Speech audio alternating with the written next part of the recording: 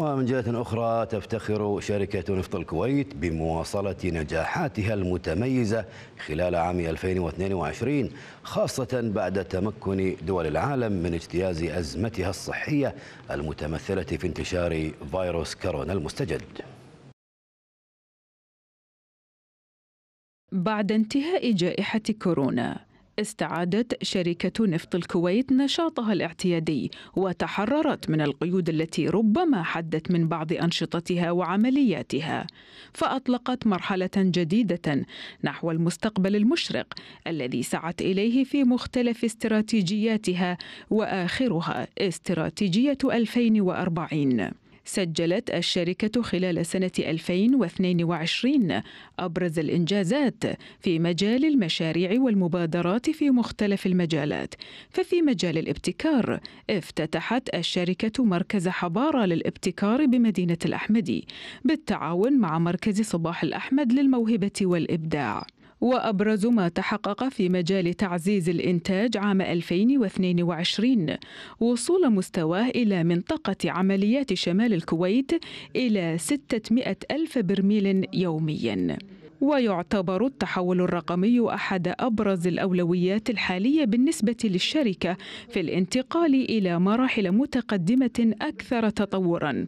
وفي هذا السياق أطلقت الشركة منصة التميز الرقمي التي تم تنفيذها اولا للإدارات المعنية بإنتاج النفط الثقيل في حقلي امنيجا وجنوب الرتجا.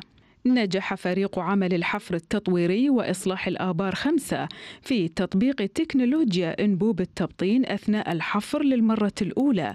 في حقل مقدير فضلا عن تسجيل رقم قياسي للحفر باستخدام هذه التكنولوجيا.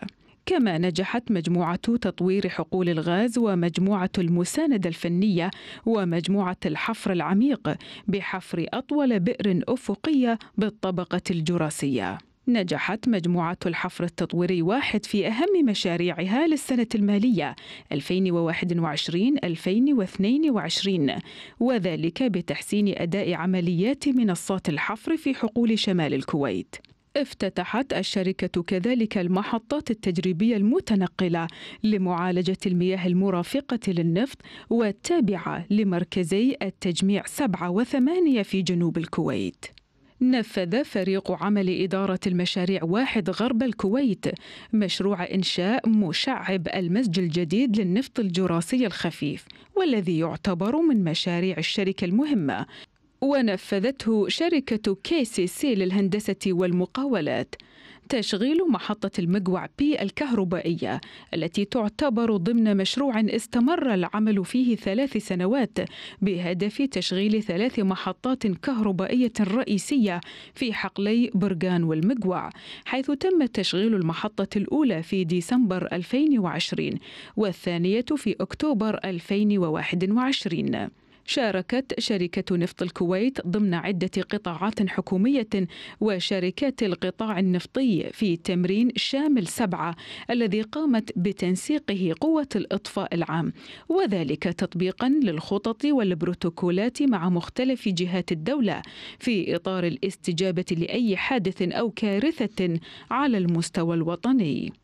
واستضافت شركة نفط الكويت على مدى خمسة أيام أعمال المؤتمر والمعرض الفني السنوي الثامن والعشرين لجمعية مصنعي الغاز فرع دول مجلس التعاون.